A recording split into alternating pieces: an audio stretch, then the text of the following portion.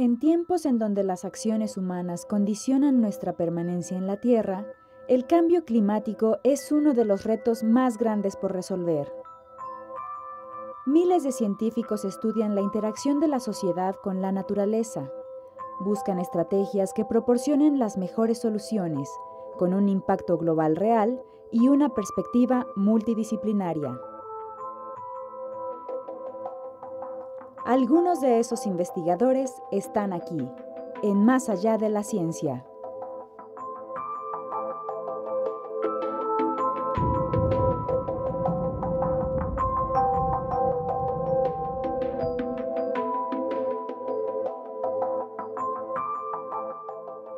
Climate is indeed a complex system, and that has been known for many years already. But in spite of being complex, it, it's one of the most urgent problems that uh, society has at present. Las ciencias de la complejidad en realidad son una serie de disciplinas que a lo largo de los últimos 20, 30 años han desarrollado un enfoque común para entender sistemas complejos. El cambio global, que sería la situación en la que nos encontramos ahora en el mundo, pues consiste en una serie de transformaciones a gran escala, a escala planetaria, ¿no? Eh, originadas en primera instancia por el gran crecimiento poblacional de la especie humana, pero también vinculadas al uso que esta especie humana hace de los recursos del, planeta. Entonces, las ciencias de la complejidad lo que nos dan es un enfoque mucho más integral sobre un problema en el que no podemos nada más aislar una variable como puede ser el dióxido de carbono y el calentamiento global. Tenemos que verlo en un contexto mucho más amplio. And the atmosphere of the planet is actually very thin. We talk about global problems because this very thin skin has the following property. If you have emissions of compounds, gases, say, that last more than a few months in the atmosphere, or in a matter of years, uh, these compounds make it all over the, the planet. So we talk about global problems whenever we're talking about uh, substances that are changing the atmosphere in a way that it doesn't matter where these emissions take place. Okay? That was certainly the case with stratospheric ozone, but it's also the case with the climate now. And that's why it's truly a global problem. It's affecting the, the entire planet.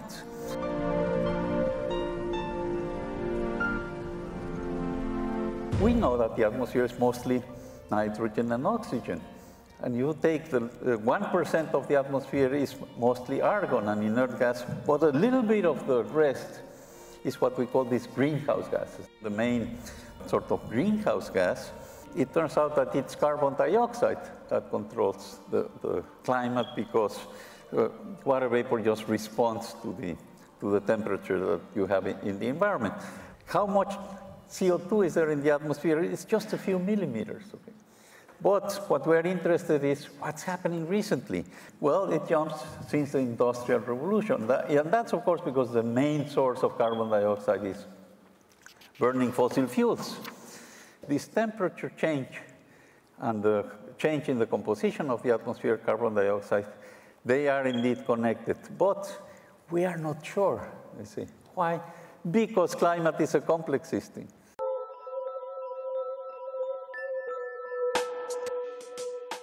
Yo creo que es un problema típico en donde hay donde tiene que trabajar mucha gente de diferentes disciplinas y es un sistema donde interactúa leyes de la física con comportamiento humano.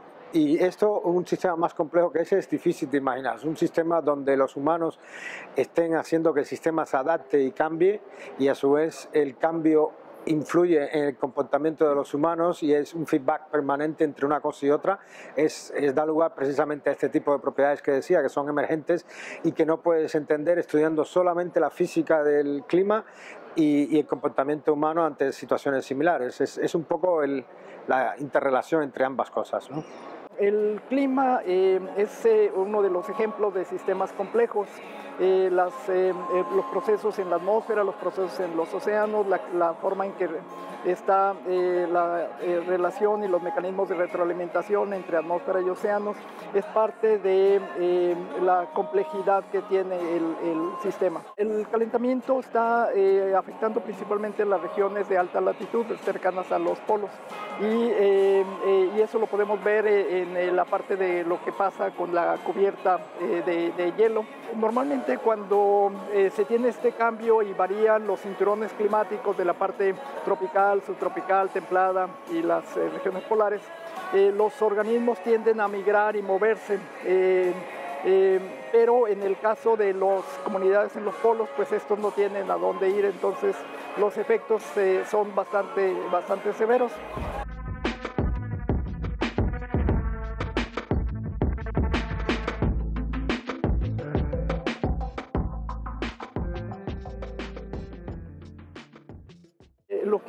Es interesante es la capacidad de adaptación y de cambio, porque eh, eh, si bien las especies han ido desapareciendo de forma continua y apareciendo nuevas, eh, este, nunca ha habido un momento en que hayan desaparecido todas, este, la vida ha continuado adaptándose y extendiéndose a lo largo de pues ya varias miles de millones de años. Nosotros como especie tenemos que tener algunos, llegar a acuerdos para reducir el impacto del calentamiento global y del cambio climático, pues una manera de atacar el problema es estudiar bajo qué condiciones ese tipo de acuerdos se pueden eh, alcanzar, qué tipo de incentivos tienes que tener. Tienes un dilema, digamos, entre lo que es mejor para ti desde el punto de vista individual y lo que es mejor para, para el bien común. Entonces, esto es un, problema que nosotros, digamos, tratamos de modelar tanto teórica como experimentalmente, haciendo incluso experimentos con humanos. Y lo que encontramos es que cuando le das eh, recursos para que inviertan en ese tipo de acción de cambio climático a gente, los que menos recursos tienen son los que más esfuerzo hacen a la hora de lograr el objetivo común, mientras que los que más tienen, de alguna manera, eh, invierten menos y, eso nos llamó mucho la atención porque es, modela muy bien la situación entre eh, los países ricos que no quieren perder PIB, de su economía, y los países pobres que son los que más están sufriendo el cambio climático. Entonces, eh, eso nos indica, yo creo que igual hay políticas que todavía no se han implementado y que yo creo que tendrían que ir un poco más hacia el espíritu cooperador o si quieres eh, eh, altruismo, digamos, en ese sentido, ¿no? Climate is already changing. It's much more expensive not to deal with this than to take the necessary measures, particularly now that renewable energy is very competitive. There is something a bit more serious that is also quite interesting. It's not among the scientific community, but it's among the, the, the business world. Because uh, fossil fuels, it's such an important component of the, of, of, uh, of the economy in, in, practically all developed and many developing countries. It turns out that uh, large amounts of uh, resources were, were, have been spent over the years to discredit climate science. And what is interesting is that there, there's a group of people that started developing skills how to communicate with the public and make them uh, think that things are wrong. So they had a big success with smoking. They were the ones that started uh, this campaign so that the government actually, in many countries, the United States being one of them, delayed any action against smoking literally for decades. Yo creo que eh, hay que pasar de, de un discurso que sea cuáles son las causas del cambio climático, que aunque hay algunos que lo ponen en duda, creo que la gran mayoría de las personas estamos de acuerdo en que somos nosotros los humanos los que estamos acelerando el, cambio climático, es cambiar ese discurso hacia qué podemos hacer y cómo lo podemos hacer. Eh, y es un poco lo que, lo que estamos tratando de, implementar ahora mismo, es un cambio de política, más de educar en contra del cambio climático es educar en qué puedes hacer para, eh, digamos, al menos eh, reducir los efectos de calentamiento global, etcétera. En los últimos años este proceso se ha alterado debido a la acción antropogénica y eh, la pregunta pues es eh, eh, cómo podemos este, determinar nosotros los efectos, separar el efecto antropogénico de los efectos de variación natural, que es parte del debate. It's not science that tells us what to do. Science only tells us what happens if we do certain things. Here you have to talk about ethical values.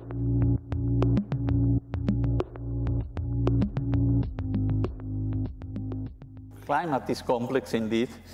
And so there are some scientists that believe that it's a serious problem, but many others really think that it's natural or it has nothing to do with uh, human activities. That's clearly a myth which has been going on for many years, but what do you do if you have a heart attack? You don't go and see your dentist, okay? So that's what these guys were doing. Mostly people that really have no idea about climate were the ones expressing their, their opinions. What we know, clearly there is an unusual consensus. It doesn't often happen in science. There's an unusual consensus among experts that uh, climate is indeed changing and it is most likely a consequence of human activities.